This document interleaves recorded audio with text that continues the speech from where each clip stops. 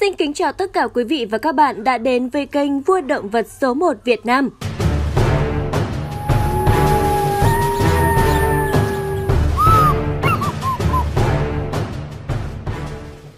Các bạn có biết không, những loài săn mồi ở trong thế giới hoang dã hết sức đáng sợ và nguy hiểm. Có những lúc kẻ đi săn lại là miếng mồi ngon cho kẻ đi săn khác. Các bạn đón xem các cuộc chiến của các loài động vật nhé. Cày mangu thuộc loài động vật nhỏ phân ở lục địa châu Phi. Tuy kích thước khiêm tốn, nhưng mà loài động vật này di chuyển rất là nhanh và ít loài nào có thể chạy đua cùng với chúng được. Dù mạnh mẽ như là sư tử hay là nhanh như báo săn thì cũng đều phải chịu thua hết. Bản tính của chúng rất chỉ là máu chiến. Bất kỳ những kẻ thù nào chiếm đục đến thì sẵn sàng chiến đấu, bất chấp to hay là bé thì vẫn vò như chiến đấu. Loài này nhỏ thôi nhưng mà được cái là kháng được tất cả các loại độc.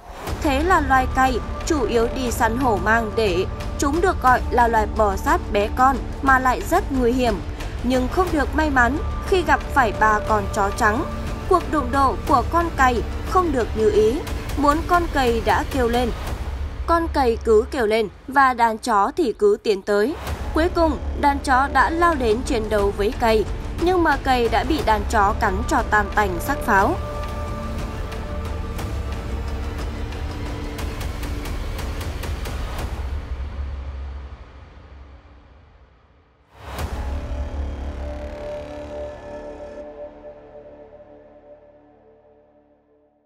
Sư tử với lợn lòi Lợn lòi là món ăn ưa thích của sư tử, nhưng đâu phải lúc nào cũng dễ dàng ăn được lợn lòi như vậy đâu.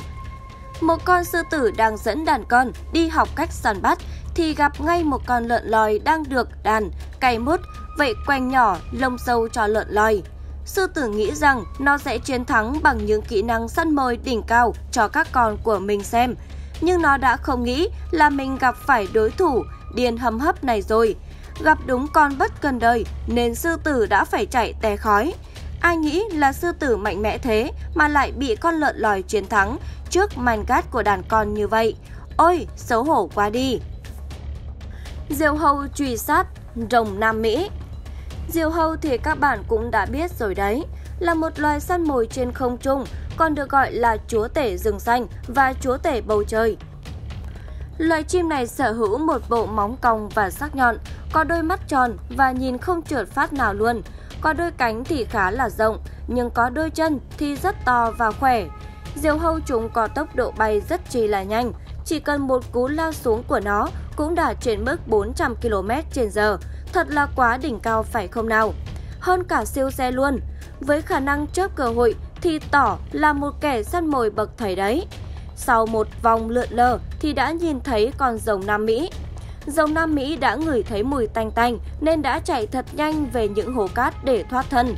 Nhưng đã không may, con non lại không đủ sức chạy thoát được nên chúng đành phải bất lực trước những móng vuốt sắc nhọn và bàn chân to của diều hâu và trở thành bữa ăn ngon của cả đàn của kẻ săn mồi.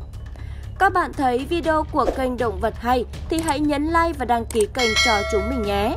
Cảm ơn các bạn đã theo dõi xem hết video này. Hẹn gặp lại các bạn vào ngày hôm sau.